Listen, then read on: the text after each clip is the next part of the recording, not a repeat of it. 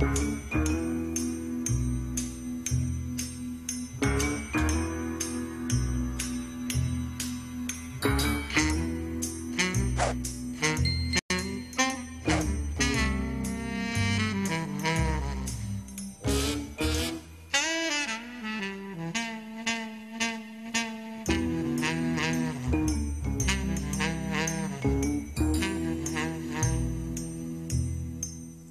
Γεια σας, καλό μεσημέρι σε όλους και καλή εβδομάδα. Είμαστε εδώ ζωντανά στην ε, τηλεόραση της ε, Ζούγκλας. Θα σας κρατήσουμε συντροφιά μέχρι και τις 2. Ε, Ελπίζω να περάσατε ένα όμορφο Σαββατοκύριακο. Ο καιρός ήταν πάρα πολύ καλός. πάμε όμως τώρα, γρήγορα γρήγορα, στην αίθουσα σύνταξη και στον Ανδρέα Ντίνη, γιατί έχουμε σε εξέλιξη μια φωτιά σε υπόγειο διαμέρισμα στο Περιστέρι. Ανδρέα, καλό μεσημέρι. Καλησπέρα και από μένα, Κωνσταντίνα. Να πούμε λοιπόν ότι φωτιά υπάρχει σε εξέλιξη σε έναν υπόγειο χώρο στις εργατικές κατοικίες στην οδό Κύπρου στο Περιστέρι. Ε, μέχρι στιγμής η πυροδοστική δεν ξέρει τα αίτια ε, της πυρκαγιάς. Ε, να πούμε ότι στο σημείο βρίσκονται τρία οχήματα με 10 πυροσβέστες, ενώ υπάρχουν και αναπιβεβαίωτε πληροφορίες για 8 εγκλωβισμένους. Ε, το ερευνούμε αυτή τη στιγμή. Για περισσότερα μπορούν να μείνουν συντονισμένοι οι τηλεθεατές και σε σένα αλλά και στο zoogla.gr για να μάθουν τις ε, πληροφορίες τελευταίες. Μάλιστα. Επομένως, ε, γνωρίζουμε την ώρα που ξέσπασε η φωτιά, Ανδρέα. Ε, πριν από λίγη ώρα. Είναι πριν γύρω στις 12.30 ώρα το μεσημέρι περίπου. Μάλιστα. Ε, όπως είπαμε λοιπόν, πληροφορίες αναφέρουν ότι υπάρχουν εγκλωβισμένοι, ωστόσο η πυροσβεστική υπηρεσία ε, δεν ε, δίνει αυτή την ε, πληροφορία, την ε, διαψεύδει. Θα είμαστε σε επικοινωνία, Ανδρέα, για ό,τι νεότερο ε, υπάρξει, έτσι; Βεβαίως, βεβαίως. Σε ευχαριστούμε πολύ. Πάμε όμως τώρα στον Παναγιώτη Βλαχουτσάκο. Παναγιώτη, ναι, καλό... καλησπέρα, καλησπέρα, καλησπέρα και καλή εβδομάδα. Καλή εβδομάδα. Ε, τι γίνεται στο Δήμο Θεσσαλονίκης, ναι, Παναγιώτη; Δέχτηκαμε μια καταγγελία σχετικά με το Δήμο Θεσσαλονίκης, ε, η οποία έκανε λόγο για ένα πάρτι στην ουσία βολέματος ημετέρων, mm -hmm. το οποίο φέρεται να λαμβάνει η χώρα ε, στο Δήμο της Συμπρωτεύουσας. Ε, συγκεκριμένα, ειδικότερα καταγγελία έλεγε ότι άτομα τα οποία γνωρίζουν πρόσωπα ε, και καταστάσει ανέφεραν μάλλον ότι ο Δήμαρχος, ο κ. Μπουτάρης, ε, αναθέτει τι εκδηλώσεις του Δήμου σε ανθρώπους οι οποίοι φέρονται να διατηρούν άριστες σχέσεις, να συνδέονται δηλαδή με τη σύντροφό την κυρία Γαμπριέλα Σάινερ. Mm -hmm. ε, όπως, είπανε, όπως μάλιστα ανέφεραν οι καταγγέλλοντες, σε πάση οι προθέσεις του κυρίου Μπουτάρη άρχισαν να ενδιαφέρονται τον περασμένο Αύγουστο, ε, καθώς όταν όλη η χώρα βρισκόταν σε διακοπές, το Διοικητικό Συμβούλιο της κοινοφελούς επιχείρησης του Δήμου, της ΚΕΔΙΔ δηλαδή, συνεδρίασε και αποφάσισε την πρόσληψη ενός συνεργάτη ο οποίος ε, είναι έμπειρος στα ζητήματα των εθελοντών για την προστασία του θεσμού της Ευρωπαϊκής Πρωτεύουσας Νεολαία. Αυτό συνεργάζεται λοιπόν είναι ο κύριος Κοράλες, mm-hmm. έχει συνεργαστεί και παλιότερα με τον Δήμο, ο οποίος με απευθείας με απευθείας ανάθεση ανέλαβε το συγκεκριμένο καθήκον έναντι 5.000 ευρώ, 4.920 ευρώ, για να είμαστε και πιο συγκεκριμένοι. Mm-hmm. Ο κύριος Κοράλες όμως ε, παλιότερα είχε συνεργαστεί με την εταιρεία Womex, πρόκειται για μια μουσική έκθεση, η οποία είχε χρηματοδοτηθεί, είχε χρηματοδοτηθεί μάλιστα από το Δήμο Θεσσαλονίκης με 245.000 ευρώ, mm -hmm. καθώς και από τη Χελέξπο με 500.000 ευρώ. Mm -hmm. Επίσης είχε εργαστεί στο φεστιβάλ Παντομήμα Κυλική και στου εθελοντές του Θεσσαλονίκη Ευρωπαϊκή Πρωτεύουσα Νεολαίας. Είναι ένας θεσμός εκεί που διοργανώνει ο Δήμος της πρωτεύουσα. Mm -hmm. Έτσι λοιπόν βλέπουμε ότι ο κ. Χωράλη ήταν παλιός γνώριμος στην ουσία του Δήμου. Ναι. Είχε αναλάβει και άλλες δουλειές. Επίσης, αυτό προκαλεί αίσθηση είναι ότι στις δύο πρώτες δουλειές είχε συνεργαστεί με την κυρία Σάινερ που είναι η σύντροφος του Δημάρχου. Μάλιστα. Γι' αυτό βάλαμε τον τίτλο Διαβολικές συμπτώσεις. Δηλαδή τη γνώριζα από παλιά, είχα ναι. συνεργαστεί και παλιότερα και τώρα ανέλαβε, ε, τώρα τον Αύγουστο πράγμα ανέλαβε και την τελευταία του εργασία με mm -hmm. ε, αμοιβή 5.000 ευρώ, όπως εξηγήσαμε. Ε, να πούμε πέσει ότι η κυρία Σάινερ, σύντροφος του Δημάρχου, είναι επικεφαλής του γραφείου Δημάρχων της Ελληνογερμανικής Συνέλευση. Πρόκειται για ένα γραφείο το οποίο έχει αναλάβει να προωθεί συνεργασίες ανάμεσα σε γερμανικούς και ελληνικούς Δήμους. Mm -hmm. ε, αυτό λοιπόν το, ε, το γραφείο των δημάρχων βρίσκεται στην ε, Θεσσαλονίκη, στην οδό Κιδονιών. Πρόκειται για ένα κτίριο το οποίο ανοίξει στο Δήμο Θεσσαλονίκης mm -hmm. και στο οποίο στεγάζεται εκτός από το γραφείο δημάρχων και το αυτοτελέ τμήμα θελοντισμού νεολαίας και διοικητικής βοήθειας. Mm -hmm. Αυτός όσο προκαλεί αίσθηση είναι ότι η ύπαρξη του, η ύπαρξη του εν λόγω γραφείου, δηλαδή του ναι. γραφείου δημάρχων, δεν υπάρχει, δεν είναι καταχωρημένη στα αρχεία του Δήμου Θεσσαλονίκης. Δηλαδή αυτό το γραφείο φαίνεται ως ανύπαρκτο στην ουσία. Φάντασμα. Φάντασμα, ακριβώς. Ακριβώς. και αυτό έγινε στο γεγονός ότι για να παραχωρηθεί δημοτικός χώρος χρειάζεται απόφαση του Δημάρχου, του δημοτικού, μάλλον του Δημοτικού Συμβουλίου. η οποία όμως δεν έχει ληφθεί μέχρι και σήμερα. Ναι. Έτσι λοιπόν ο κ. Μπουτάτης φέρεται να έχει δημιουργήσει στην ουσία ένα γραφείο, Ναι. το οποίο ηγείται η, σύζ- ε, η σύντροφός του, Ναι. το οποίο όμως δεν υφίσταται στην ουσία, διότι δεν έχει δώσει την έγκρισή του το Δημοτικό Συμβούλιο. Μάλιστα. Ε, όλα αυτά που σε καταλαβαίνεις, με αναφέρθηκε στο ρεπορτάζ, ε, παραθέτοντας βέβαια και τα αντίστοιχα έγγραφα. Ναι. Ωραία. Αυτά. Κάποια επίσημη απάντηση έχουμε, Παναγιώτη; Ορίστε. Έχει έρθει κάποια απάντηση. από- Μέχρι στιγμής όχι. Όχι. Αναμένουμε. Μάλιστα. Τώρα, θέλω να μας πεις ε, ε, και κάτι ακόμα, Παναγιώτη, ε, μ, για το ποιοι έσπασαν το εμπάργκο στο Ιράν. Ναι. Ένα ε, κύκλωμα το οποίο διακινούσε πολεμικό υλικό από το Ισραήλ μέσω Ελλάδας με Ναι. τελικό προορισμό το Ιράν. Μάλιστα. Ε, αποκάλυψε μυστική έρευνα της ε, Υπηρεσίας Ερευνών Εσωτερικής Ασφάλειας των Ηνωμένων Πολιτειών της Αμερικής. Σε συνεργασία με το ΣΔΟΕ. Ακριβώς. Με το Τμήμα Δίωξη Ναρκωτικών και Όπλων. Ακριβώς. Τι προκύπτει από το ρεπορτάζ, Ε, Παναγιώτη. Ωραία, ξεκίνησαμε ένα έτσι, ξυλοκιβώτιο, Ναι, το οποίο έχει έρθει στις 20 Δεκεμβρίου του 2013, έχει φτάσει εδώ. ναι, Το ΣΔΟΕ έχει συνεργαστεί λοιπόν με την υπηρεσία των ΙΠΑ, με την Ναι. Υπηρεσία Ερευνών Εσωτερικής Ασφάλειας. Η υπηρεσία λοιπόν των ΙΠΑ είχε ενημερώσει το ΣΔΟΕ με έγγραφο, ότι, με πληροφορίες μάλλον, ότι πρόκειται να έρθει ένα ξυλοκιβώτιο στην Ελλάδα, το οποίο έχει ως προορισμό το Ιράν ναι. και αποστέλλεται από το Ισραήλ.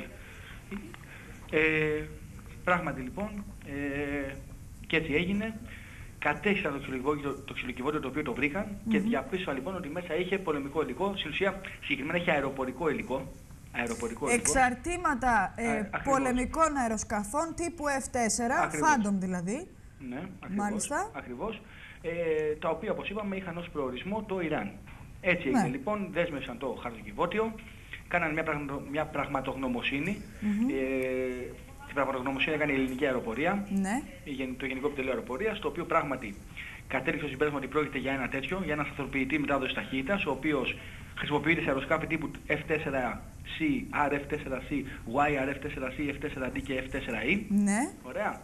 Ε, 16 Ιανουαρίου απέστειλε η υπηρεσία των ΗΠΑ έγγραφο και ζήτησε από το ΣΔΟΕ να της παραδώσει το αεροπορικό υλικό στην ουσία, ώστε να χρησιμοποιηθεί ως αποδεικτικό στοιχείο σε μελλοντική διαδικασία κατά ενός υπόπτου, ο οποίος το απέστειλε από το Ισραήλ και αναζητείται της ΗΠΑ για παρόμοιες κατηγορίες από το 2004, ναι, όπου έχουν συγκεκριμένο υπόπτου στο μυαλό τους. ναι, Ε, επίσης έγινε και δεύτερη αποστολή της πολεμικού υλικού, η οποία αποκαλύφθηκε τον Απρίλιο του 2013. Ναι. Ε, δέσμευσε ένα κυβότιο πάλι το, ΔΟΕ, το ΣΔΟΕ, Ναι. προερχόμενο από το Ισραήλ μέσω της εταιρείας FedEx.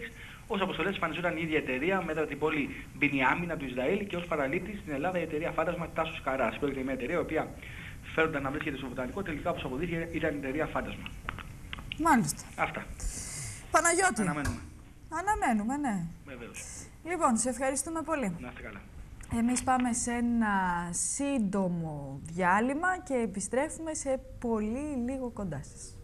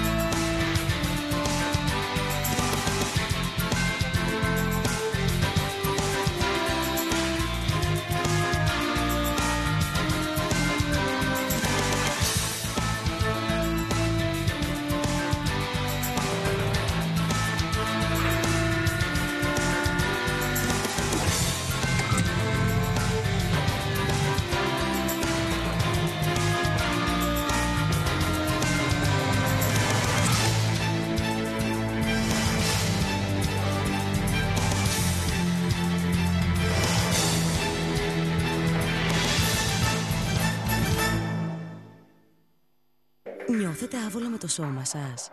Υποδεχτείτε την τεχνολογική επανάσταση στην καταπολέμηση της κυταρίτιδας. Νέο καλσόν Nanobionic Anti-Celluline. Μετατρέπει τη θερμική ενέργεια που εκπέμπει το ανθρώπινο σώμα σε άπο υπέρυθρες ακτίνες και τις επιστρέφει πίσω σε αυτό. Αποτέλεσμα, μείωση της εμφάνισης της κυταρίτιδας, λία και καλή εμφάνιση. Αγαπήστε ξανά το σώμα σας με το νέο καλσόν Nanobionic Anti-Celluline.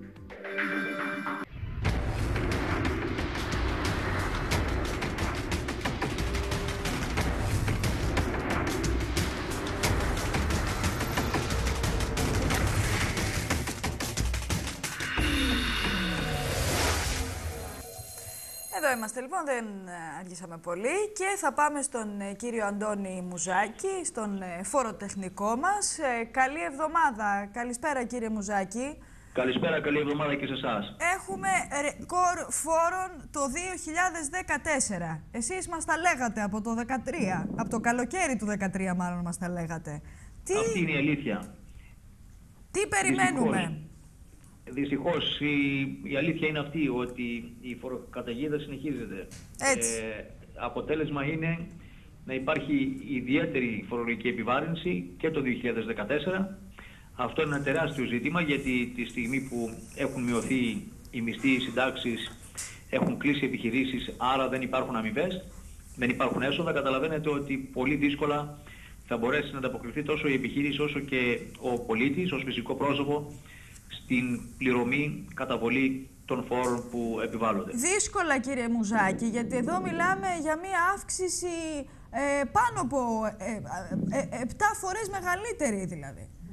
Δυστυχώς, αυτό το τονίζει και η Επιτροπή της Βουλής, η αρμόδια επιστημονική επιτροπή της Βουλής, που είπε ότι δυστυχώς για άλλη μια φορά πληρώνουμε φόρους μεγαλύτερους από το παρελθόν και μάλιστα, όπως πολύ σωστά σημειώσατε, ε, τουλάχιστον ε, κατά 7 φορές. Αυτή είναι η πραγματικότητα, αυτή βιώνουμε όλοι και αυτή είμαστε υποχρεωμένοι να, σε αυτήν είμαστε υποχρεωμένοι να ανταπεξέλθουμε. Μάλιστα. Ε, ε να πούμε πως ε, ε, πριν από τέσσερα ακριβώς χρόνια, κύριε Μουζάκη, οι ιδιοκτήτες κινήτων καλούνταν να πληρώσουν 105 ευρώ σε φόρους. Ενώ τώρα συγκεκριμένα ε, εκτινάσεται στα 715 ευρώ κατά μέσο όρο.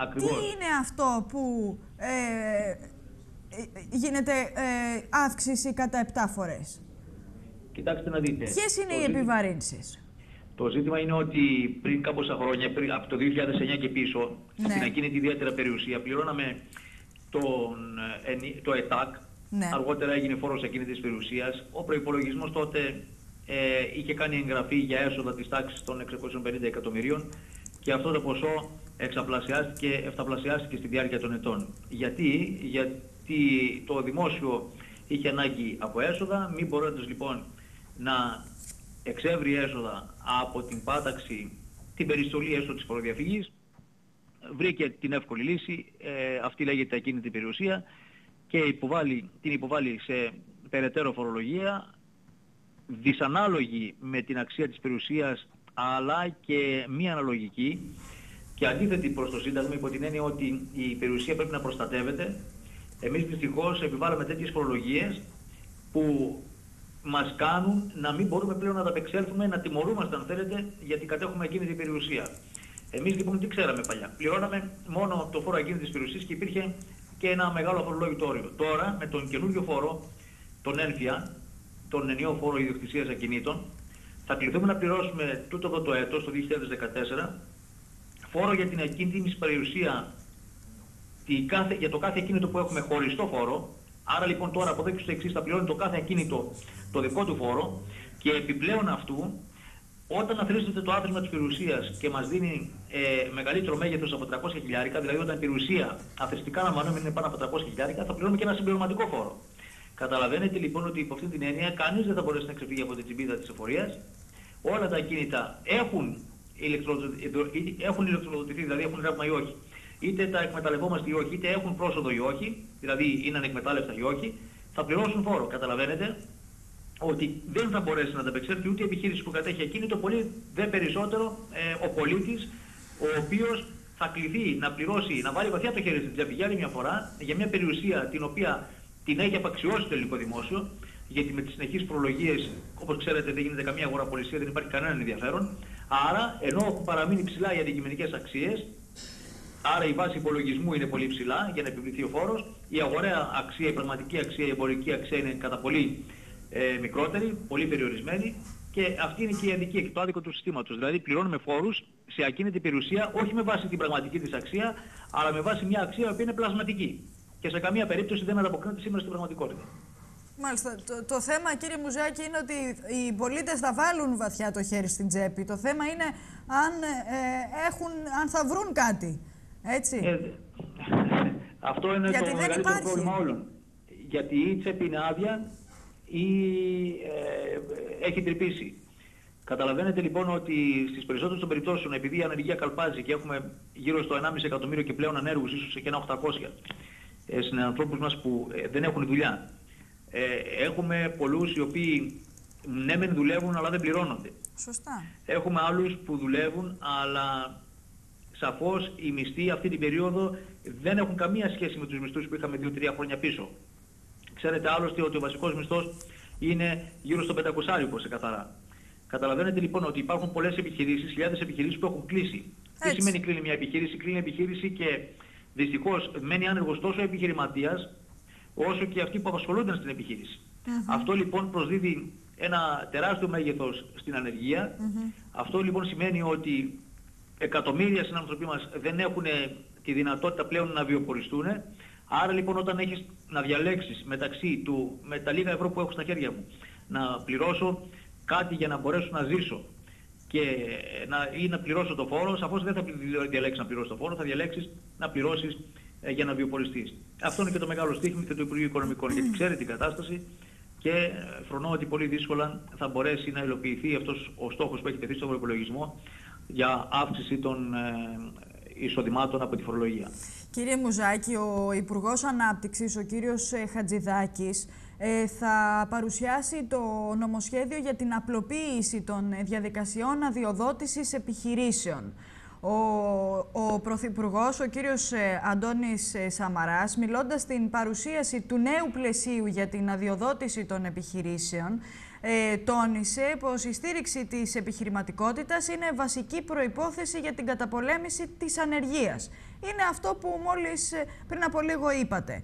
Ε, υπάρχουν περιθώρια για ένα νέο πλαίσιο, ε, για τις, να μιλάμε δηλαδή για ένα νέο πλαίσιο στις επιχειρήσεις. Δηλαδή ε, μπορούν να γίνουν τώρα ε, αλλαγές, έστω και τώρα αυτή τη στιγμή που όπως είπατε και εσείς η ανεργία έχει σκαρφαλώσει σαφώς και υπάρχει δυνατότητα περαιτέρω αλλαγών και απλοποιήσεων, ούτως ώστε μέσα από αυτή τη διαδικασία να μπορέσουν να στηριχθούν τόσο οι υφιστάμενες επιχειρήσεις, πολλότε μάλλον να καταφέρουν και άλλοι επιχειρηματίες, επενδυτές, με την ευρία έννοια του όρου, να επενδύσουν στη χώρα, είτε είναι Έλληνες είτε ξένοι, γιατί αν δεν το κάνουμε αυτό, τότε είμαστε καταδικασμένοι.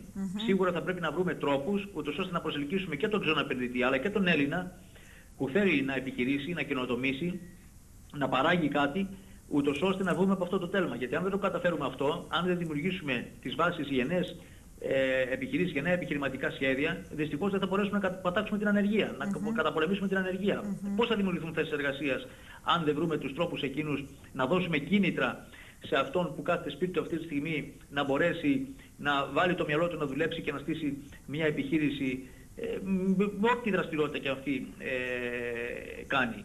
Καταλαβαίνετε λοιπόν ότι σίγουρα υπάρχει πεδίο, αρκεί τα βήματα να είναι συντονισμένα, να υπάρχουν κίνητρα για τέτοιου είδους επιχειρηματικότητες, ούτως ώστε να καταφέρουμε να βάλουμε, να εντάξουμε, να κάνουμε καινούργιες επιχειρήσεις και αυτές να δημιουργήσουν μελλοντικά νέες θέσεις εργασίας για να αρχίσουμε να περιορίζουμε αυτό το φαινόμενο που έχει πάρει τρομακτικές διαστάσεις, το φαινόμενο της ανεργίας. Έτσι. Η, ε, σύμφωνα με πληροφορίες, εισάγεται ένα καινοτόμο σύστημα ε, αυτό της δήλωσης συμμόρφωσης των επιχειρήσεων με, με το οποίο ε, θα τεκμέρεται αυτομάτως η συμμόρφωση μιας επιχείρησης με τις γενικές προδιαγραφές που θέτει ε, ο νόμος. Αυτό αν ε, ισχύσει, τι, τι αλλάζει στις επιχειρήσεις κύριε Μουζάκη; Κοιτάξτε, οι επιχειρήσεις γενικά θα πρέπει να είναι ιδιαίτερως προσεκτικές και να τηρούν το υφιστάμενο πλαίσιο. τόσο από την άποψη της φορολογικής διαδικασίας, όσο και από την άποψη της ε, υποβολής των φορολογικών δηλώσεων και της καταβολής των φόρων.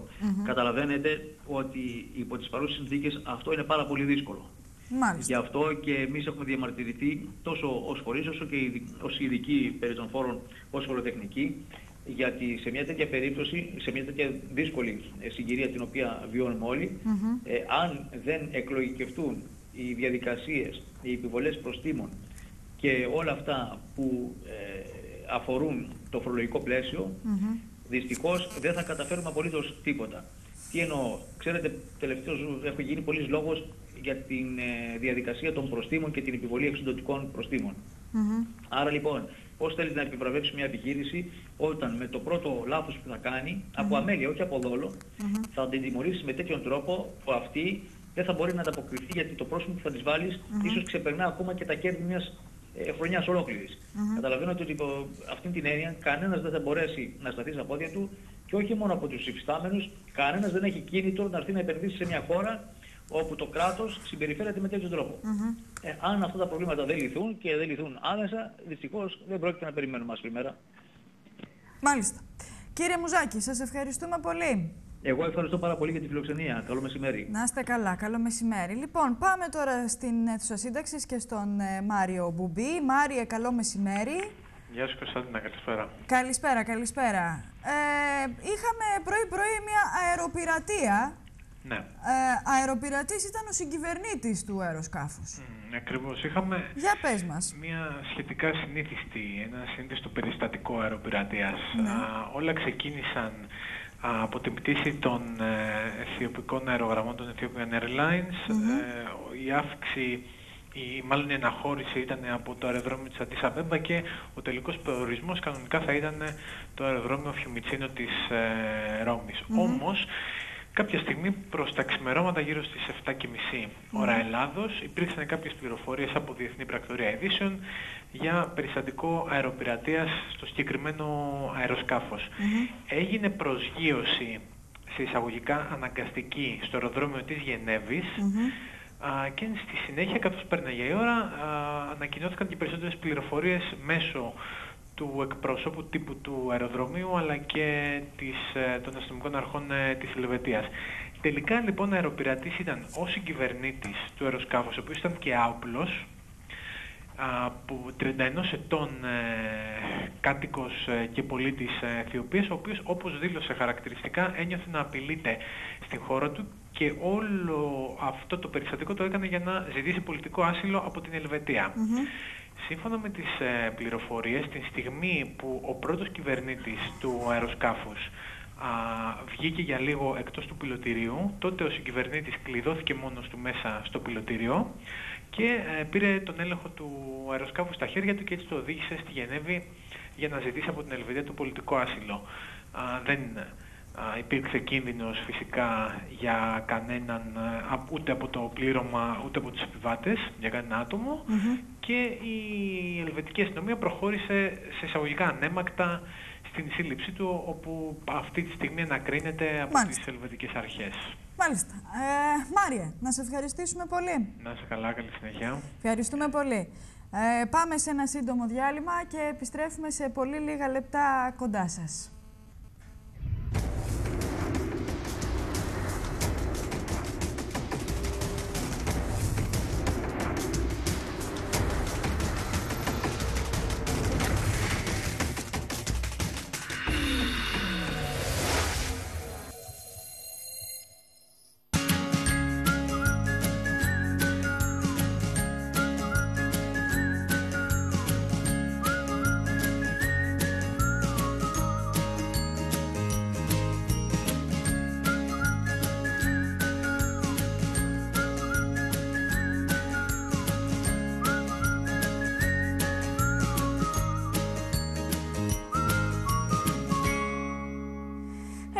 Είμαστε λοιπόν. Πολεμικό κλίμα διαμορφώνεται στον χώρο της υγείας με τους γιατρούς του ΕΟΠΗ να έχουν οχυρωθεί από νωρίς το πρωί στα πολυιατρία του οργανισμού, αρνούμενοι να παραδώσουν τα κλειδιά των 380 μονάδων υγείας στις περιφερειακές διευθύνσεις.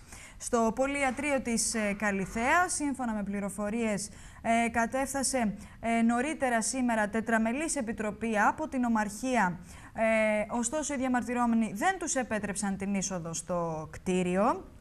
Και από την άλλη, ε, ο Υπουργός Υγείας, ο κύριος Άδωνης Γεωργιάδης, ε, ζήτησε να μην εμπλακεί η αστυνομία στις καταλήψεις που πραγματοποιούν από το πρωί οι γιατροί ε, σε πολυιατρία.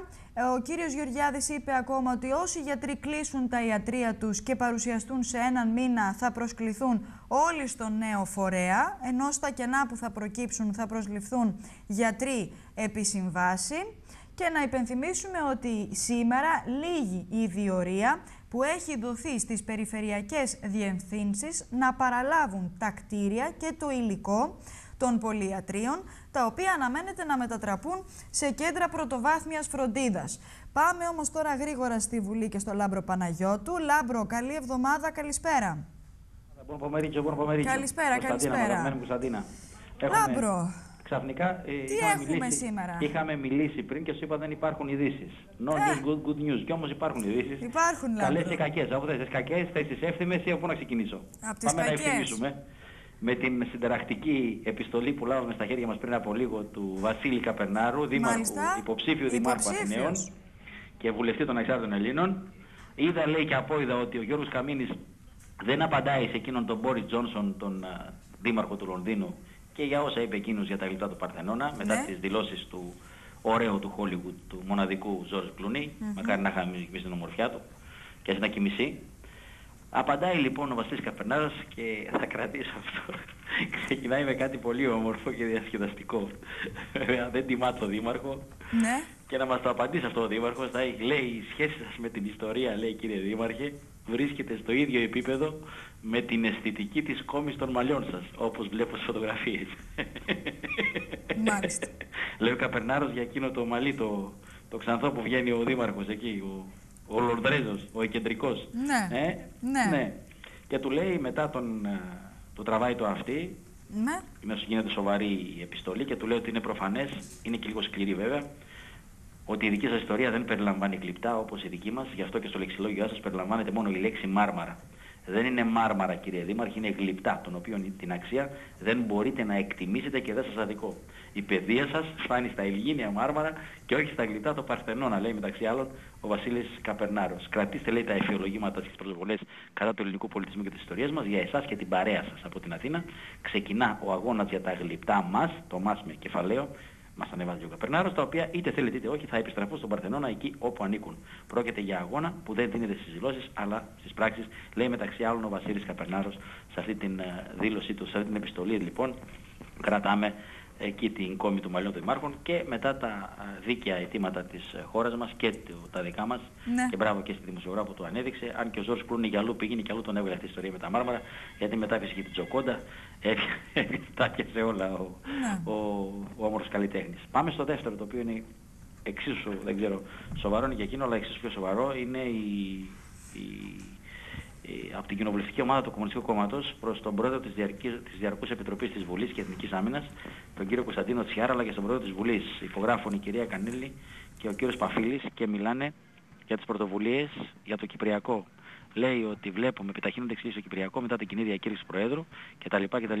Η κοινή διακήρυξη λέει ότι επί της ουσίας σηματοδοτεί την επαναφορά λύσης στα βήματα του σχεδίου ΑΝΑΝ. Κάτι τέτοιο λέει εμείς και ο περήφανος λαός της Κύπρου δεν θα αφήσουμε ποτέ να περάσει λέει ότι η αναφορά σε λύση διζωνική ή κοινοτικής ομοσπονδίας αναιρείται από την ύπαρξη συνιστών των κρατών, από την προλογόμενη σχέση κτλ. Άρα λοιπόν εδώ το θέμα, εδώ το Κομμουνιστικό Κόμμα θέτει ένα ε, μεγάλο ερώτημα, ένα μεγάλο ζήτημα το οποίο θα πρέπει να απαντηθεί τις επόμενες μέρες και ζητάει μάλιστα τη σύγκληση των πολιτικών αρχηγών ή μάλλον όχι, να, ζητάει να γίνει συζήτηση στην Ολομέλεια της Βουλής επί του θέματος αυτού. Αυτό είναι σοβαρό θέμα και θα πρέπει να το δούμε με, ε, με συνέπεια, έτσι δεν είναι, Κωνσταντίνα μου.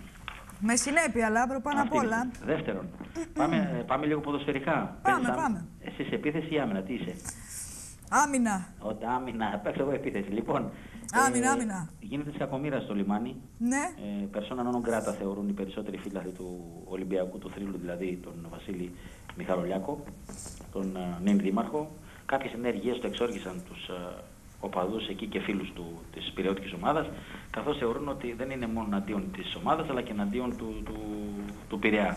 Και μάλιστα ακούμε τις τελευταίες μέρες ότι άμυνα παίζει μαζί με σένα και ο Γιώργος Ανατολάκης, ο οποίος περιμένει, περιμένει στο ακουστικό του. Μην ξεχνάμε ότι είναι γάβρος. Έχει εμπειρία ο κύριος Ανατολάκης. Εντός εισαγωγικών. άλλο. Ο Σαμαράς είναι γάβρος, έτσι. Ναι, ναι. Α, λοιπόν δεν ξέρουμε τι γίνεται εκεί πέρα. Περιμένει ο Ανατολάκης, ακούγεται. Ναι.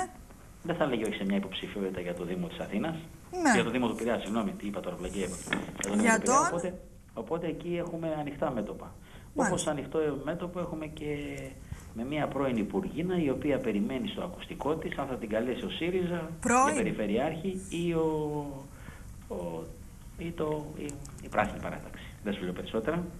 Πρώην Υπουργίνα. Ναι, ε, μπορεί να είναι Υπουργίνα, Υφυπουργίνα, δεν σου λέω περισσότερα, μην καταλάβουμε. Περιμένει στο ακουστικό της. Από ό,τι κατάλαβα εγώ, δηλαδή απ' έξω απ' έξω που την βρήκα και μου είπε πέντε πραγματάκια. Δεν θέλει να ανοίξει. Ποια λάμπρο. Ε, δεν μπορώ να το πω τώρα αφού με δέσμευσε. Πάντως ε, η Νέα Δημοκρατία έχει βάλει εκεί περιφερειάρχη. Ναι. Αλλά έχει, υπάρχει ο επίσημος και ο ανεπίσημος, υπάρχει και αντάρτης εκεί, σε αυτή την περιφέρεια. Α, και τώρα είναι και η βουλευτήνα, πρώην υφυπουργήνα που περιμένει πώς και πώς, δεν είναι, δεν είναι βουλευτήνα, όχι. Πώς και πώς, αν την καλέσουν από το ΣΥΡΙΖΑ παρακαλώ ή από το ΠΑΣΟΚ. Και τα υπόλοιπα μόλις κλείσουμε τηλεφωνική μας επαφή. Μάλιστα. Ναι. Εντάξει, Λάμπρο. Δεν θα πάμε για ύπνο Κωνσταντίνα. Πάμε για ύπνο Κατερίνα, δεν λέει το τραγούδι. Δεν θα πάμε Αυτές για ύπνο. Το απόγευμα έχουμε συζητήσεις εδώ κάποιες Ναι. ερωτήσεις. Ναι. Έχουμε και εξελίξεις στο ποιοι θα βάλουν υποψηφιότητα για τις αυτοδιοικητικές και τις ευρωεκλογές. Έχουμε ναι. πολλά. Σωστό. Έχουμε τον κύριο Ψαριανό, Ναι. ο οποίος είπε ότι θα είναι υποψήφιος ευρωβουλευτής με τη ΔΙΜΑΡ, με τη Δημοκρατική Αριστερά. Ποιος, Ψαριανό. με συγχωρείτε, πνίγηκα. Με τους 50, καλά έκανες. Με τους 58 ή με τους 60. Λοιπόν, είπε ότι θα είναι υποψήφιος με τη Δημοκρατική Αριστερά. Mm-hmm. Στο ευρωψηφοδέλτιο της ΔΙΜΑΡ. Εντάξει. Αυτό Πάντως εγώ... και την κυρία Κοπά. Είπε κυρία ότι Κοπά, δεν ναι. προσχωρώ Την στο, κάνει πασο, το στο Πασόκ. συγγνώμη, στη ΔΙΜΑΡ. Mm-hmm. Είπε η κυρία Κοπά ότι δεν πάει στη ΔΙΜΑΡ. Mm-hmm. Ε, η Ευρωβουλευτής λοιπόν του Πασόκ. Παραμένει στο Πασόκ, αποκλείεται. Είναι Ναι. με τους χειρισμούς Βενιζέλου. Και είπε ότι δεν είναι στις προθέσεις της να πάει στη Δημοκρατική Αριστερά. Ναι, τα δημοσιεύματα Και θέλουν εκεί όμως. ότι να βρει στηρίζει στέγη. τη δημιουργία του τρίτου πόλου. Αυτό είπε η κυρία Κοπά. Μάλιστα. Ε, με τους 58 λες; Τρίτος πόλος είναι 58. Ε, δεν δεν μπερδεύτηκα, το δίκιο έχεις. Δεν είναι τρεις πόλος 58. Έκτος πόλος είναι 58. Εγώ θα σου πω κάτι όμως. Ε, Είχαμε και μια συνάντηση ναι. την προηγούμενη εβδομάδα, μιας και εγώ γυρίζω εδώ στις λαϊκές συνοικίες, κολονά και τα λοιπά, Ναι. Του Ανδρέα Παπαδόπουλου, Του πρώην, νυν ε, δήμη της Δημάρ, του, του, εκπροσώπου. ΓΟΕ, του κόμματος, με την Έλενα Γιανακά, την πρώην βουλευτήνα Α. του Πασόκ. Τι; Συζητάνε για αυτή την κίνηση ενδεχομένως των 58, αν εκεί θα εντάξουν μέσα και το, το Δημάρ και τα λοιπά. Α, Μετά από μια συνομιλία που έχω τον Παπαδόπουλο μου είπε ότι εγώ εντάξει, θεώρησα πιο σωστή τη στάση μου, εφόσον ως εκπρόσωπος τύπου του κόμματος εκεί διαφωνώ σε κάποιο πράγμα με τον Φώτη Κουβέλη, πιο έτοιμο να το πω Φώτη, δεν τραβάει ιστορία. Ευχαριστώ πάρα πολύ, δεν θα πάρω. Αυτή είναι η κουβέντα που είχαμε και μετά από λίγο τον είδα να κάθεται με την ε, κυρία Γιανακά. Του Λοκαρνανίας πρώην βουλευτήνα, έτσι δεν είναι; ναι. Έτσι, Κωνσταντίνα μου. Έπιανε εκεί κάνα, καμιά ωρίτσα, μία ώρα το καφεδάκι τους και μετά ήρθε μια άλλη παρουσία την οποία θα σας την πω όταν κλείσουμε τηλέφωνο. Ναι, και είχαμε έτσι και μία. Ε, πώς το λένε, πώς να το πούμε τώρα ευγενικά. Ο κύριος ξέρω. Καμίνης είπε, ε, στον, ε, είπε για τον ε, κύριο Κακλαμάνη Ναι. ότι παρέλαβα την Αθήνα στη χειρότερη φάση της μετά τη γερμανική κατοχή. Σκληρή δήλωση. Πειρά για τα πεπραγμένα του κυρίου Νικήτα Κακλαμάνη. Ναι. Ναι. Σκληρή δήλωση, όντως. Μπορεί να μην είχαν γίνει. Άφησε πολλά ο πράγματα. κύριος Καμίνης. Αυτά τα Μάλιστα. ξέρει καλύτερα ο κύριος Καμίνης, να τα δώσει όλα στη δημοσιότητα. Ναι. Ε, να δώσει τη δική του, ε, τα πώς έκανε αυτός στην τετραετία, να δώσει και εκείνα του Κακλαμάνη, να δώσει και των προηγούμενων. Και έτσι θα δούμε λοιπόν αυτή η πόλη τι τραβάει από τα κομματόσκυλα θα έλεγα εγώ, γιατί δεν είναι πόλη αυτή που παρουσιάζουν, όχι οι- οι εκάστοτε δήμαρχοι εδώ. Θα μπορούσαν περισσότερα για την Αθήνα. Άσε Ναι. τα, τα χρέη κτλ. Α τα δώσει ο κύριο Καμίνης, Ναι. όντως, ο οποίος τον φέρουν να έχει προβάδισμα στο δεύτερο γύρο πολλές δημοσκοπήσεις. Βέβαια είναι μακρύς ο δρόμος ακόμη και η κούρσα. Έτσι είπε. Είναι μακρύς ο δρόμος. Είναι μακρύς. Το είναι είπε. Όντως, γιατί έχουμε πολλούς ε, υποψήφιους, μνηστήρες για μόνο μία ε, ομορφούλα που είναι η Αθήνα μας. Για την Αθηνά μας. Έτσι. Άρα λοιπόν θα δείξει η Κωνσταντίνα μου. Αλλά να έρθουν όλα στο φως, όχι όμως να περιμένει 10 μέρες πριν από τις εκλογές. Έπρεπε να μας πει το τι έγινε επί Ντόρα Μπακογιάννη, ναι. επί Νικήτα Κακλαμάνη, επί Δημήτρη Αβραμόπουλου, επί δικής του θητείας και των άλλων. Να τα βγάλουν όλα στο φως, να δούμε ποιοι περιδρόμιασαν, ποιοι έφαγαν, ποιοι έβαλαν το Δήμο μέσα και γιατί σήμερα ο άλλος να πληρώνει κοινόχρηστα, δεν ξέρω εγώ, στα ύψη ή ένας ο εμποράκος ή Ναι. ο, ο καταστηματάρχης να το πληρώνει για ένα τραπέζι, δεν ξέρω πόσο να το πηγαίνει τα, τα ενοίκια, από, και αυτά τα λεφτά να μην πιάνουν τόπο. Εκεί είναι το θέμα μας. Ας τα δώσει όλα ο κ. Καμίνης, ας είναι και προ των ε, ευρωεκλογών. Να τα μάθει ο κόσμος και προ των τοπικών εκλογών. Να τα μάθει έστω και τώρα, δεν είναι αργά. Για να δούμε. Να Λάμπρο, μάθουμε θα ποιοι έχει έφαγαν. ενδιαφέρον. Θα έχει πολύ Θα έχει ενδιαφέρον. πολύ ενδιαφέρον τώρα γιατί μόλις Έτσι. ξεκινάει η κόντρα. Για να Αυτή η δούμε, κόντρα. για να δούμε. Όμως θα σου πω και κάτι. Εγώ μιλώντας με, ε, με μια πρώην βουλευτήνα του Πασόκ, μου είπε ότι ο Σαμαράς εθνικοποίησε τις εκλογές. Που σημαίνει ότι με το Σταυρό θα αναγκαστεί να βάλει πρωτοκλασσά τα στελέχη, τα λεγόμενα πρωτοκλασσά δηλαδή μπροστά στην, ε, στην κούρσα. Άρα λοιπόν, αν θα χάσουν αυτή την επόμενη, αν θα συντριβούν την επόμενη μέρα, αυτό θα σημαίνει και εθνικές εκλογές. Γιατί δεν θα μπορεί να σταθεί πλέον η κυβέρνηση. Άρα Ναι. λοιπόν, θα μπορούσε το Σταυρό να το συζητήσει είτε νωρίτερα είτε αργότερα μετά τις ευρωεκλογές για μια επόμενη εκλογική μάχη. Θα γυρίσει σε μπούμεραγκ του Σαμαρά, μου είπε. Άρα λοιπόν δεν χρειάζεται να σου πω που ανήκει αυτή η βουλευτήνα. Δεν ανήκει βέβαια στη Νέα Δημοκρατία. Με παρακάλεσε να μην πω αυτό είναι το θέμα. Τώρα συζητάω μια ώρα, λέμε πέντε πράγματα και μετά μου λες να μην πεις το όνομά μου. Ε, τι να μην πω. Δηλαδή τι θα κάνω. Ε, το Να τέτοιο θα κάνω. κλείσουμε, να κλείσουμε με τα Ε, τα πειρά ευχάριστα. που εξαπολύει ο στενός συνεργάτης του πρώην Πρωθυπουργού κ. Γιώργου Παπανδρέου, ε, ο κύριος Γιώργος Ελενόπουλος. Περίμενε λίγο. Πειρά κατά όσων μιλούν Ναι. για πρωτογενές πλεόνασμα και Ναι. ταυτόχρονα επικρίνουν την πολιτική της διετίας 2010-2011 Ναι. επιχειρώντας να αποδώσουν όλα τα δεινά στη συγκεκριμένη διετία για να εμφανιστούν οι ίδιοι άμομοι και άσπηλοι εν ώψη εκλογών. Αυτά Ναι. Να- λέει ο κύριος Γιώργος Ναι. Ελενόπουλος. Σωστό. Συμφωνώ μαζί του. εγώ, δεν Στενός ξέρω. συνεργάτης του πρώην Πρωθυπουργού, Ναι, του να μας κύριου πει τι Γιώργου δουλειά κάνει- Παπανδρέου. Να μας πει τι δουλειά κάνει σήμερα ο κ. Ελληνόπουλο, πρώτον. Ναι. Έτσι, ένα ρητορικό ερώτημα βάζω. Και δεύτερον, θα τον έχουμε εδώ τον Παπανδρέου 18 Φλεβάρι. Ναι. Κάπου μιλάει. Τον έχω Τη καλεσμένο. 18 Φλεβάρι, αύριο. Ναι. Αύριο είναι. Αύριο. κάπου μιλάει, το ξέχασα εδώ, θα μας μιλήσει για την. Ε, ε, και μετά, την, μετά, την, ε, μετά το μνημόνιο τι, θα μας πει. Μετά το αύριο. μνημόνιο τι. Ναι, Ωραία. κάτι τέτοιο. Θα μας το αναλύσει εδώ και καταλαβαίνεις τι γίνεται. Θα είναι σε κλειστό ε, κύκλο. Να πάει ο κύριος Ελληνόπουλος να ευαγγελιστεί εκεί, αλλά προηγουμένως να μας δώσει και τα ένσημα τι δουλειά κάνει. Μάλιστα. Γιατί ο Παπανδρέου τώρα δεν έχει. Ε, τώρα πέρα, πέρα από τουρίστας βουλευτής, παρά το λαϊκισμό μου και τα 6.000 ευρώ, 6,5 που παίρνει το, το μήνα, Ναι. δεν έχει και μεγάλο έργο. Πρώτη, είναι η δεύτερη φορά που θα μιλήσει εδώ σε, σε ελληνικό ακροατήριο. Α. Πριν επιδοθεί στα. Ε, τον αντιγράφει και ο Άδωνης. Πήγε και ο Άδωνης στο Χάρβαρντ. Ναι. Ε, 2.800 κόστησε μόνο ταξιδάκι του λέει. Και μάλιστα ε, ένα 2.800 τι ταξίδι είναι αυτό, λέει σιγά την πλήρωσε το ελληνικό δημόσιο. Σωστό δίκιο έχει. Πήγε το, την Ευγενία την πήρε ή όχι, όχι την Ευγενία και σίγουρα την πήρε. Α. Και πήγε με ένα στενό συνεργάτη. Φαντάζομαι δεν θα πήγε στενό συνεργάτη. Έβγαλε ομιλίες στο Χάρβαρτ, πήγε είδε τα, είδε τα νοσοκομεία της Αμερικής, εκεί τα οποία είναι 100 χρόνια μπροστά από τον κόσμο. Δεν έχεις ασφάλεια, πεθαίνεις, τέλος. Ναι. Πέφτει κατευθείαν στο, στον ποταμό μέσα για να έχεις και πιο ωραίο θάνατο. Και θα μας φέρει το αμερικάνικο σύστημα εδώ. Μάλιστα. Τον στείλαμε 2.800, τον πληρώσαμε τον κύριο. Ναι.